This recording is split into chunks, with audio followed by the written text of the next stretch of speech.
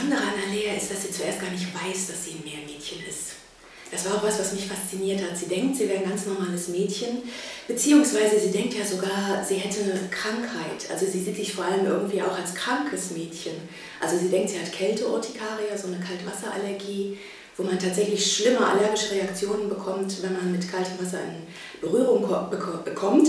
Und dann denkt sie, ähm, das ist das, was sie ausmacht. Äh, dass da was Tolles, Magisches an ihr ist, das ahnt sie ganz lange überhaupt nicht. Also sie hat zum Beispiel so hässliche Knubbel zwischen den Fingern äh, und zwischen den Zähnen und hinter den Ohren. Und sie denkt, das muss irgendwann, als ich ganz klein war, mal ein Unfall mit Wasser gewesen sein.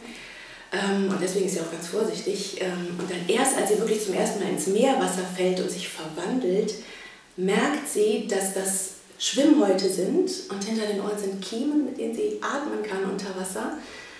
Und das, ähm, die, die, Idee dahinter ist, dass das, was sie immer für ihre Schwäche gehalten hat, das, was sie gedacht hat, was hässlich ist, ist letztendlich ihre große Stärke und das, was sie auch zu was Besonderem macht. Äh, und die Idee daran hat mich nochmal besonders.